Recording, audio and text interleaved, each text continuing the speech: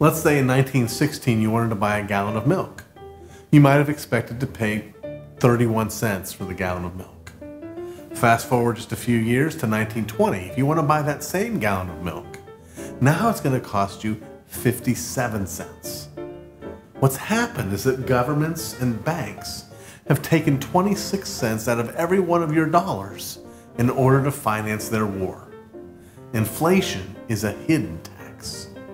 But of course, it didn't stop in 1920. If you want to understand how much our money has been devalued, going from 1914 to today, our dollar has lost 97% of its value. Since by law, the Federal Reserve is responsible for the nation's money supply, they're the ones who are responsible for the loss in that money supply. Well, where does all this loss in value stop? What's the end result of all this when the government and the banks continue to devalue our currency?